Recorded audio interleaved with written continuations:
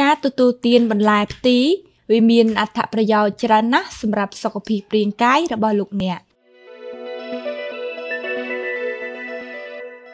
សូមជម្រាបសួរនិងស្វាគមន៍ប្រិយមិត្តទាំងអស់គ្នា ដែលនិយមតាមដានស្ដាប់កម្មវិធីអត្ថប្រយោជន៍នៃរុក្ខជាតិកាលពីវីដេអូមុនមុននាងខ្ញុំតែងតែរៀបរាប់អំពីអត្ថប្រយោជន៍នៃផ្លែឈើក៏ដូចជារុក្ខជាតិដទៃទៀតនៅថ្ងៃនេះផងដែរនាងខ្ញុំនឹងរៀបរាប់អំពី អត្ថប្រយោជន៍នៃរុក្ខជាតិម្យ៉ាងទៀតហើយគឺប្រភេទបន្លែផ្ទីសម្រាប់សុខភាពរាងកាយរបស់លោកអ្នកចង់ដឹងថាផ្ទីមានអត្ថប្រយោជន៍យ៉ាងណាខ្លះដល់សុខភាពរាងកាយរបស់លោកអ្នកពេលដែលលោកអ្នកទទួលទានវាទៅនោះកុំឲ្យខាតពេលវេលាយូររីករាយសន្ដាប់អំពីអត្ថប្រយោជន៍ដ៏លើសលប់អំពីផ្ទីដូចតទៅ ទី1នោះគឺសម្បូរទៅដោយប្រូតេអ៊ីននេះពិតជាចំណុចមួយដ៏ធំបំផុតនៃផ្ទី ដែលធ្វើឲ្យវាក្លាយទៅជាប្រភពអាហារដ៏មានតម្លៃសម្រាប់មនុស្សកំហាប់ប្រូតេអ៊ីនខ្ពស់មានន័យថារាងកាយអាចបំបែកប្រូតេអ៊ីនរុក្ខជាតិទាំងនេះ ទៅជាអាស៊ីតអាមីណេដែលអាចប្រើប្រាស់បាន ប្រូតេអ៊ីនគឺចាំបាច់សម្រាប់ការលូតលាស់និងការបង្កើតកោសិកា និងជាលេខាថ្មីក៏ដូចជាសម្រាប់តម្រូវការធម្មពលឲ្យកាន់តែលឿននិងមុខងាររំលាយអាហារផ្ទីផ្ទុកកំហាប់ប្រូតេអ៊ីនខ្ពស់ជាងគ្រាប់ធញ្ញជាតិស្ទើរតែទាំងអស់ដែលមាននៅលើទីផ្សារលើសពីនេះទៅទៀតសូម្បីតែស្លឹករបស់វាក៏មានផ្ទុកនៅប្រូតេអ៊ីនមានប្រយោជន៍ដ៏អស្ចារ្យផងដែរទី2ភ្នាក់ងារប្រឆាំងនឹងអុកស៊ីតកម្មមនុស្សភាគច្រើនយកចិត្តទុកដាក់ចំពោះផ្ទីដោយសារតែសារធាតុប្រូតេអ៊ីនខ្ពស់ធ្វើឲ្យវាคล้ายទៅជាប្រភព នៃជីវជាតិដ៏សំខាន់សម្រាប់មនុស្សមានការសិក្សាស្រាវជ្រាវថ្មីថ្មីមួយបានបង្ហាញថា វាផ្ទុកនៅសារធាតុជាក់លាក់មួយ ដែលវាក៏ត្រូវបានគេរកឃើញ នៅក្នុងគ្រាប់សណ្តែកសៀងផងដែរព្រោះវាអាចកាត់បន្ថយការរលាកនៅក្នុងខ្លួន និងថែទាំការពារសកម្មភាព របស់រ៉ាឌីកាល់សេរី ដែលអាចបណ្ដាលឲ្យកោសិកាដែលមានសុខភាពល្អ ប្រែប្រួលទៅជាកោសិកាមហារីកម៉ូលេគុលប្រឆាំងទៅនឹងការរលាកនេះក៏អាចជួយបន្ធូរបន្ថយលក្ខខណ្ឌដូចជាជំងឺរលាកសន្លាក់ឆ្អឹងនិងបញ្ហាដែលតាក់ទងទៅនឹងការរលាកផ្សេងផ្សេងទៀតផងដែរទី3ធ្វើឲ្យប្រសើរឡើងនៅគុណភាពឆ្អឹងស្លឹកផ្ទីមានផ្ទុកនៅសារធាតុរ៉ែជាច្រើនប្រភេទរួមទាំងកំហាប់កាល់ស្យូមខ្ពស់ មានបន្លែស្លឹកតិចតួចណាស់ដែលផ្ទុកនៅកម្រិតជាតិកាល់ស្យូមខ្ពស់ដែលធ្វើឲ្យវាคล้ายទៅជាអាហារដែលអាចជួយបានល្អក្នុងការបង្កើតកម្លាំងឆ្អឹងនិងការពារជំងឺពុកឆ្អឹងផងដែរកាល់ស្យូមគឺជាសារធាតុរ៉ែដ៏សំខាន់មួយ សម្រាប់ការពារ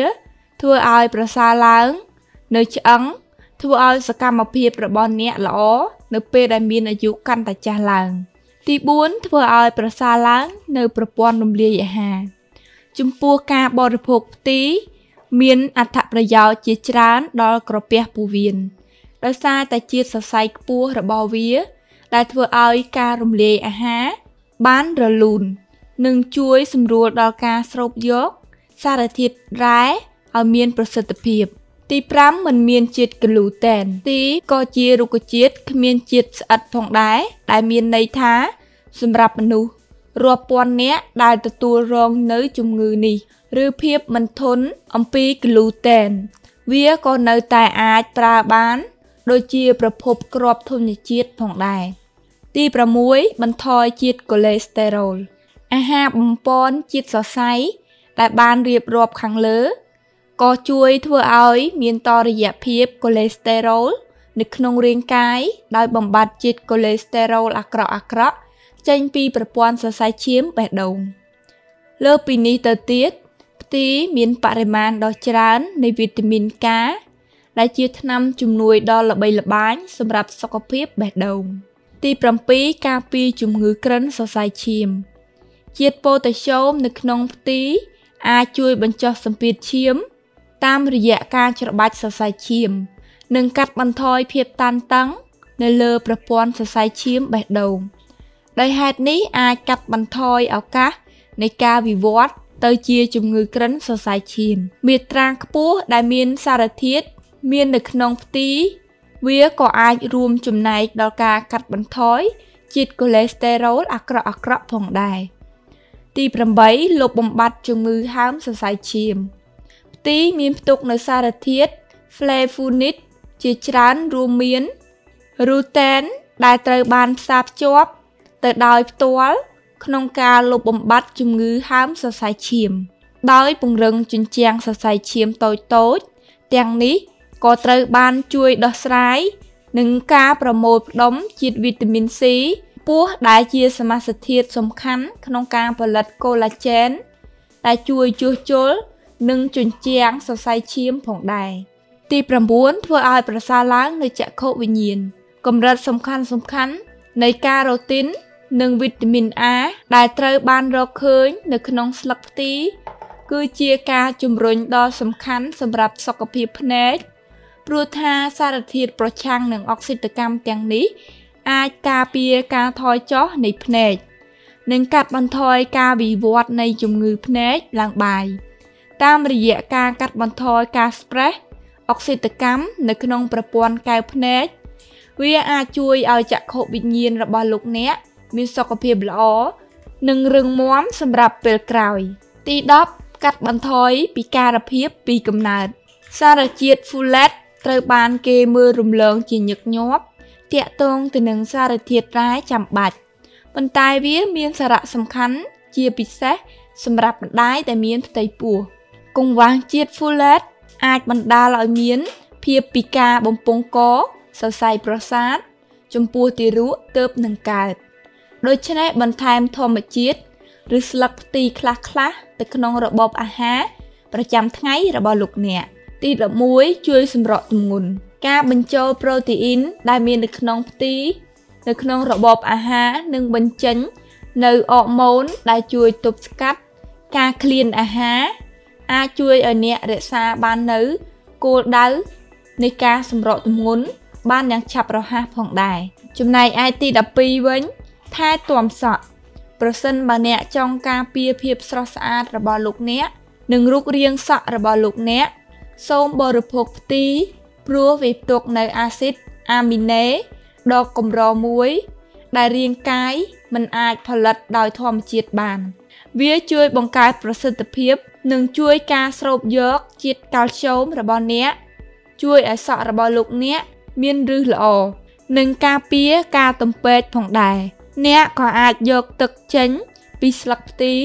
ដោយយកវាទៅលាបលើសក់របស់លោកអ្នកបន្ទាប់ពីកក់សក់ដើម្បីពង្រឹងសក់របស់លោកអ្នកនិងការពារការជ្រុះសក់ផងដែរចាប្រិមិត្តទាំងអស់គ្នាអត្ថប្រយោជន៍នៃស្លឹកផ្ទីសម្រាប់សុខភាពរាងកាយរបស់លោកអ្នក វាបានដល់ទីបញ្ចប់ហើយសូមអរគុណប្រិយមិត្តទាំងអស់គ្នាដែលនិយមតាមដានស្ដាប់កម្មវិធីអត្ថប្រយោជន៍នៃរុក្ខជាតិនេះពីដើមរហូតដល់ចប់ក្រុមការងារវ៉ាវសូមជូនពរប្រិយមិត្តទាំងអស់គ្នាសម្រាប់គោលបំណងដែលលោកអ្នកចង់បាននឹងជាផុតពីជំងឺដ៏កាចសាហាវដែលមាននៅលើប្រទេសកម្ពុជាយើងផងដែរ ចំពោះប្រិយមិត្តថ្មីដែលគិតថាកម្មវិធីអត្ថប្រយោជន៍នៃរុក្ខជាតិនេះមានអត្ថប្រយោជន៍ចំពោះសុខភាពរាងកាយរបស់លោកអ្នកហើយលោកអ្នកចង់បានវីដេអូថ្មីថ្មីក៏ដូចជាអត្ថប្រយោជន៍នៃរុក្ខជាតិដទៃទៀតលោកអ្នកមិនពិបាកទេលោកអ្នកគ្រាន់តែចុចពាក្យថា subscribe ចំពោះប្រិយមិត្តណាដែលប្រើជាភាសាខ្មែរគ្រាន់តែចុចពាក្យថាជាវរួចចុចរូបកណ្ដឹង នោះលោកអ្នកនឹងទទួលបានវីដេអូថ្មីថ្មីនៅពេលដែលក្រុមការងារវាវអាប់ឡូតទៅពេលក្រោយក្រោយទៀតសូមបញ្ជាក់ដល់ប្រិយមិត្តទាំងអស់គ្នាថា